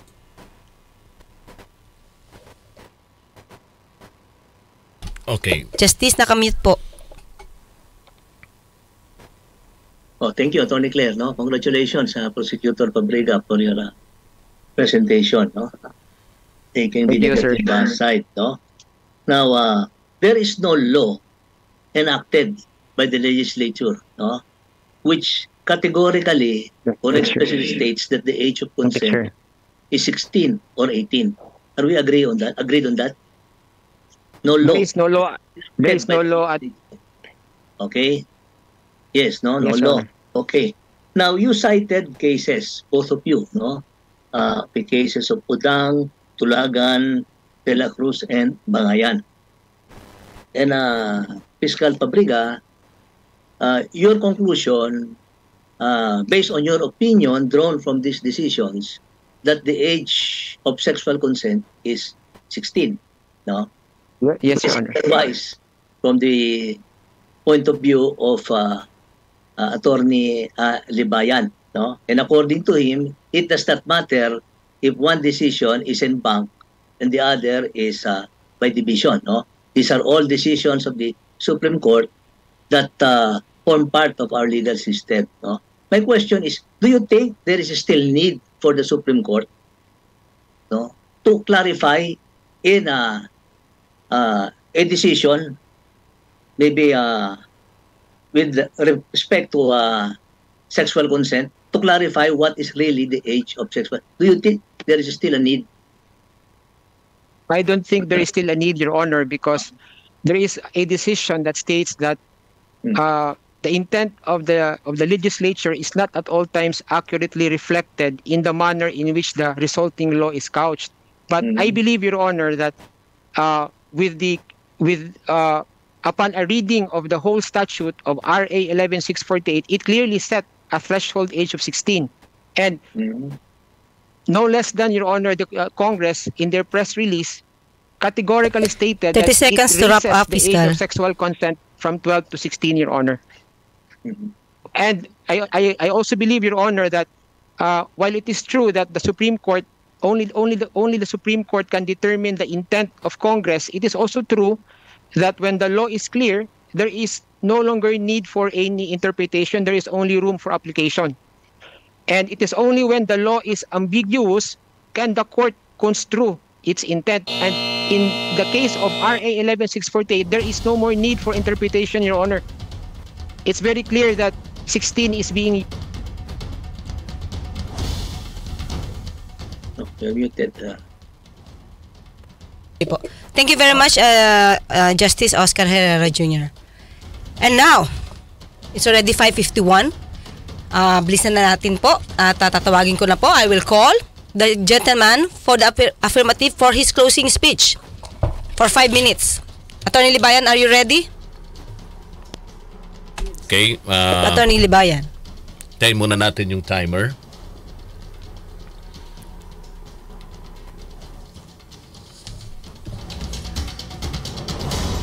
Attorney Libayan? Yes. Okay. Ready? Okay. For a while po. We Ito will, we will, for a while po. Okay na? Five Ito nga minutes. po at nasaksihan natin yung debate. Uh, the debate is whether or not uh, 18 or 16 is the age of giving sexual consent. Ngayon, as a lawyer, ladies and gentlemen, it is my duty to prote- protect everyone from pros- criminal prosecution. As you can see here, if you have sexual intercourse with a minor, you have to belong to the exceptions. Kailangan mo pang i-compute yung 3, kailangan mo pang tignan kung walang wa- kung kung ano siya, kung hindi siya exploitative, kailangan mong tignan kung gaano kahaba yung edad kasi nga kung mas mahaba yung edad katulad nung sinabi doon sa De La Cruz case, eh it is already exploitative. So now, what can you generate from that? Even lawyers are arguing. Ano ba talaga? 16 or 18? So, ang gagawin mo if you commit sexual uh, sexual uh, intercourse with a minor, then you have to qualify yourself. So if you if you if there is a need to qualify yourself or for you to belong any of the exceptions that the, the my opponent discussed, then do you think it is worthy na maniwala ka na ang age of consent ay 16? Do you think do you think it is it is uh, uh sulit, no? Do you think sulit 'yon na nasa 16 ka pero kinakabahan ka naman baka hindi ka pasok sa exceptions? That's the problem there. That's why I want to emphasize that the age of sexual consent is 18. Kasi doon, kampante ka. Wala kang iisipin, makakatulog ka ng mahimbing, hindi ka magbabasa ng libro, sandali, maghahanap ako ng defense ko. Kasi nga, ladies and gentlemen, ang inabaan doon, doon sa udang case are merely the sweeping statements that consent is immaterial. Ang sinabi sa tulagan case, it is material because it can be even used as a defense. So in other words, makakasuhan ka pa rin tapos dedepensa ka. Now, if you want to believe that age of sexual consent is 16, delikado. Delikado. Because the uh, the child abuse law or uh, Republic Act 7610 it affords protection laban sa mga nag-aabuso ng mga bata. Ngayon, ganito po 'yan. Kapag hindi nagreklamo yung bata kasi nagbigay ng consent, kahit nga yung magulang, di ba? Nagbigay din ng consent. Sinabi dito na yung state bilang parents patre o magulang ng mga bata, sila ang pwedeng magkaso doon sa tao. Take note, nagbigay na ng consent ha, yung bata. Nagbigay din ng consent yung mga magulang. Why can they still be prosecuted? Now, if you want to spend your time, your money, if you have you want to to exert effort in defending your case, kapag kunwari may nagkaso sa iyo because you had sexual relationship with a minor and you will prove that you belong to the exception, then go ahead. Think of it as 16 as the age of sexual consent. And disregard lahat po nung mga kaso na pinakita ko sa inyo kung saan sinabi ng paulit-ulit ng Supreme Court na kailangan protektahan natin yung mga bata. That's all for me. Thank you very much. Thank you very much, uh, gentleman, uh, for the affirmative. And I would like to call the gentleman for the negative. Fiscal EJ, are you ready? Yes po. Okay, the, your timer starts now. As I have emphasized po in my opening speech, this exercise is merely to identify what is the age of sexual consent under current law. This is not a debate to forward a policy and change the age of consent from 16 to 18 or from 18 to 16. Hindi ito policy debate gaya ng debate po tungkol sa dapat bang ibalik ang death penalty. Debate po ito tungkol sa ano ba talaga ang nakalagay sa batas 16 ba or 18. Now, apparently, in my opponent, in his closing speech, in his desire to capture public sympathy, would like to make it appear as a policy debate. This is no longer a policy debate. As I said, what we are only here to identify what is the age of sexual consent under current law. Now, going to his legal basis, which is the Odang case primarily, I have already pointed out that the Odang case has been de- has been declared no less than by the Enbang case of Tulagan as a sweeping and confusing pronouncement regarding the capacity of a child under 18 to give sexual consent. Now, what is the significance of an en banc decision?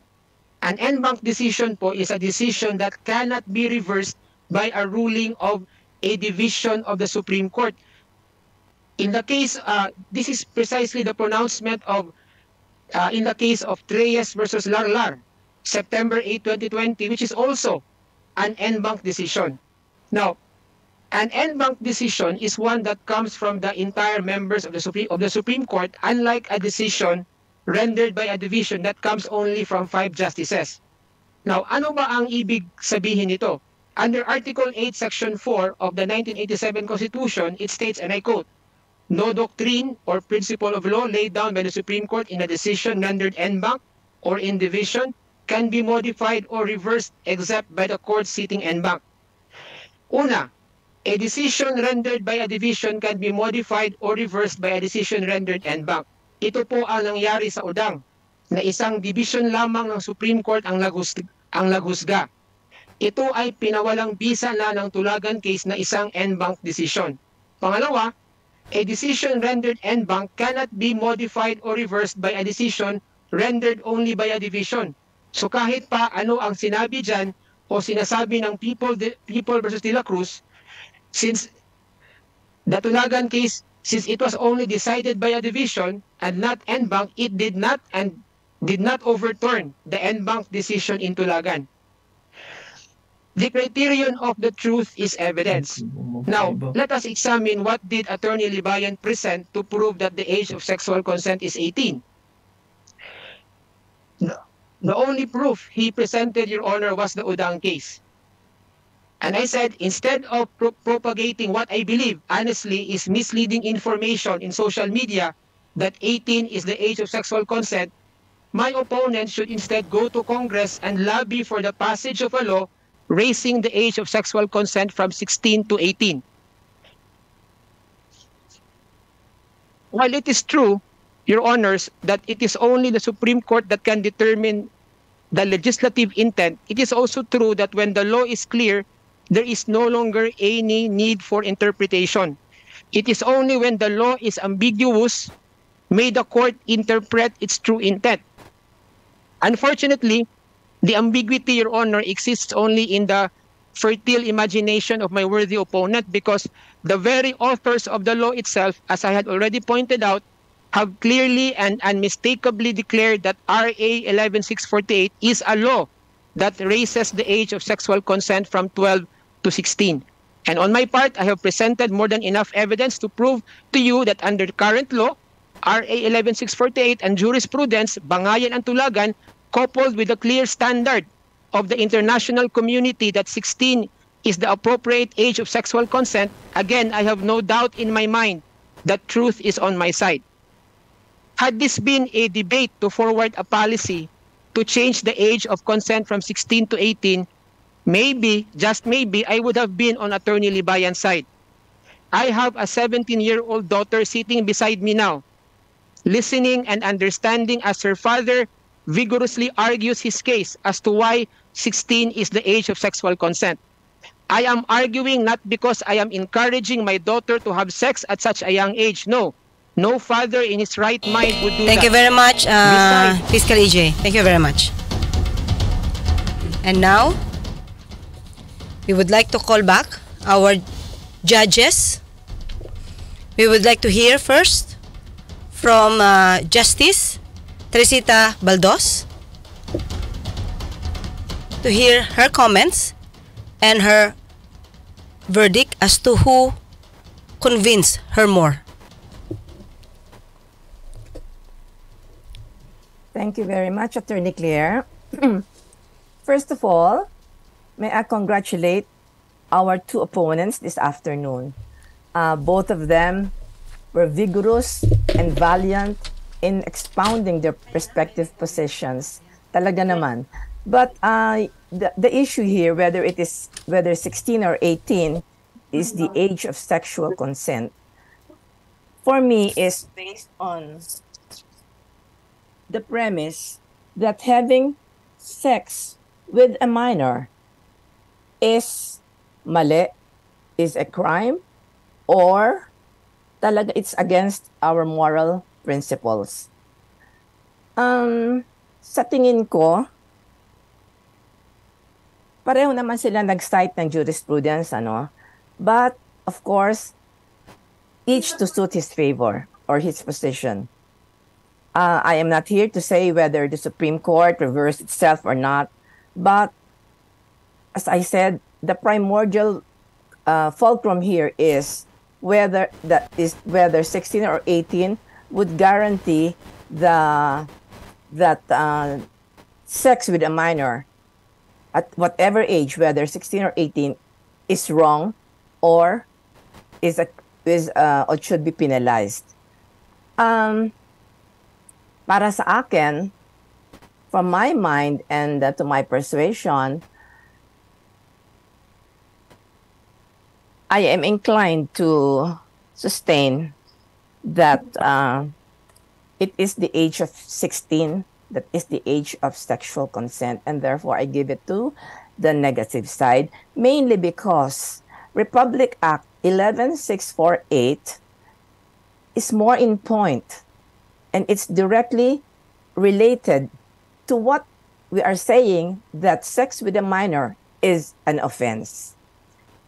Republic Act 7610, while it, cons- while it takes into account the welfare of a minor, encompasses or includes several other acts such as prostitution, trafficking, which, though uh, punishable, do not really relate, do not really relate or not to the exclusive domain of a minor. I mean, um, a child over 16 and until 18 may still be victimized, but I would say that they are more for gain and not as a victim of sexual of sexual activity or sexual experience. So um, even as I congratulate both uh, debaters, I would have to give it to the negative side. Thank you. Thank you very much, Justice uh, Baldos. And now we would like to call back Justice uh, Alfredo Ampuan.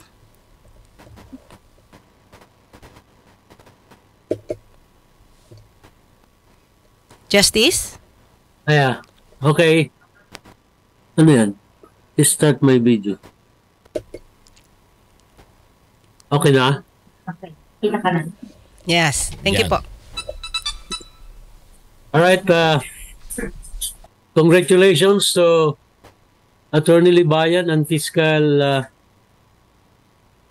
AJ.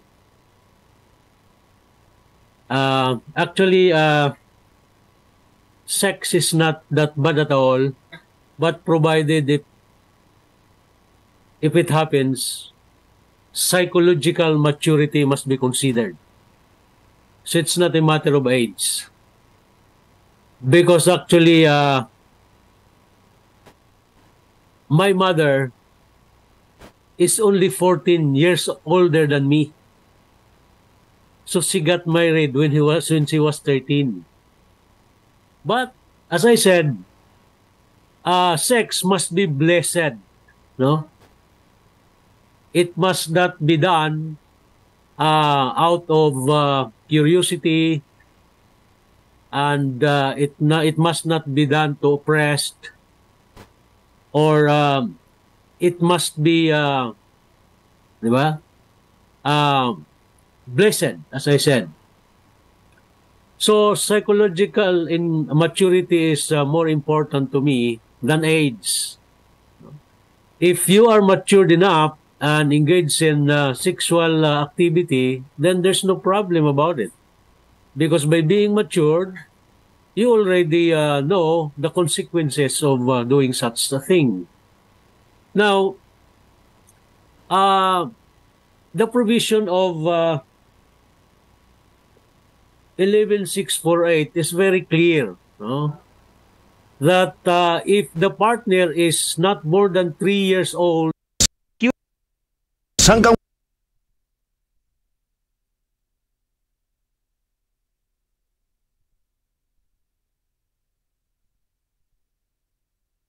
hanggang Webes. At ngayon, mas pinahaba pa ang kanilang oras. Alas 9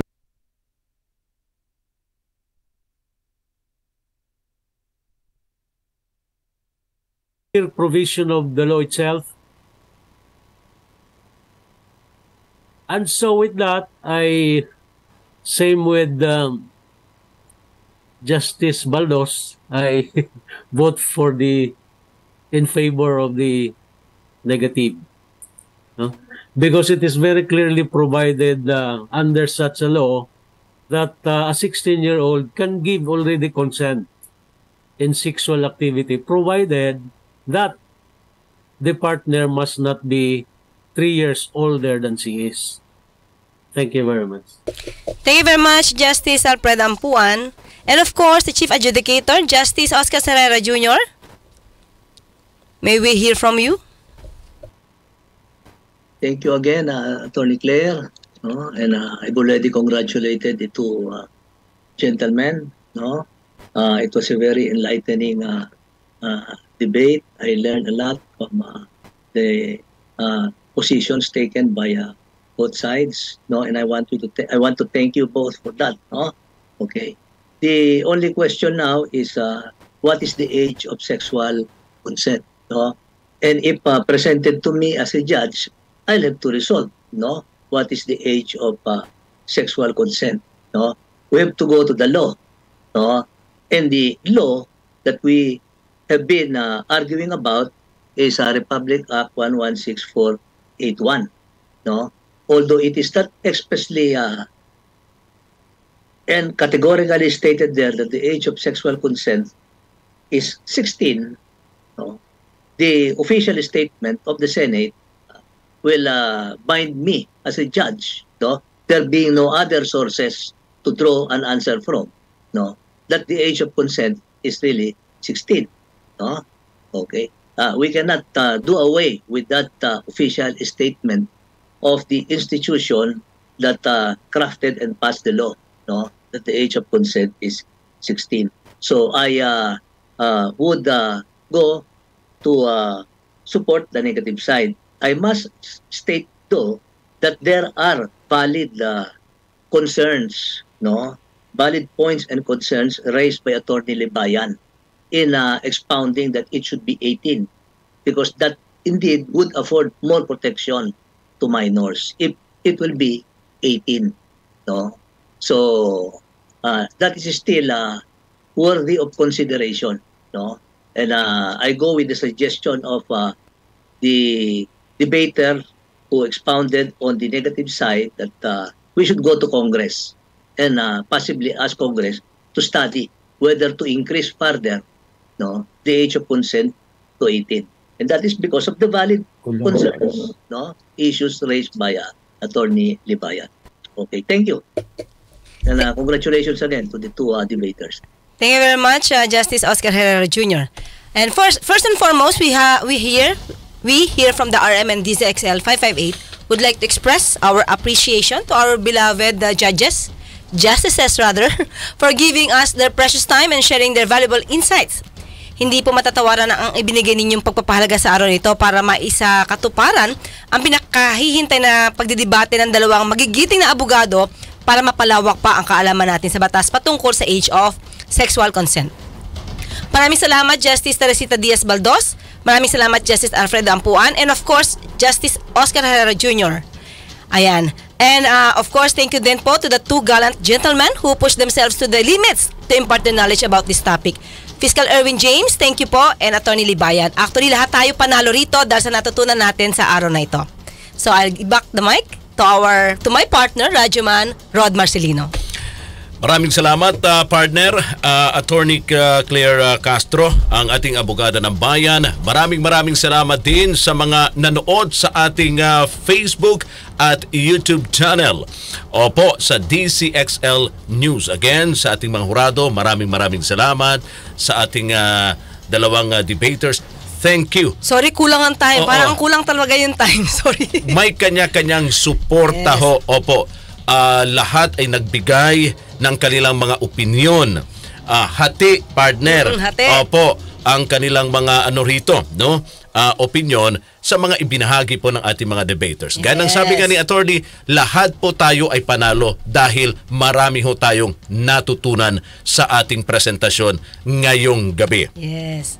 Sabi nga, kung hindi lang kulang ang panahon, partner, ang Oo. oras na ko, mas matagal pa tayo sana mag-uusap dito. Tama. At dyan nagtatapos mga kasama Salamat muli. ang ating presentasyon. Thank you sa ating digital department Yes. kay Alegria. Maraming maraming salamat. Kay Jairus. Jairus sa Jairus. Peña, Florida. Thank you very much. Sa ating technical department kay Erwin at syempre sa ating newsroom nandyan si Ryan Reloban. Ayan. At partner sa ating boss kay Boss Rico. Yes! Maraming maraming salamat Thank sa suporta boss dahil eh, siya partner talagang hindi siya nagdalawang isip. Sige, ituloy natin yung debate na yan.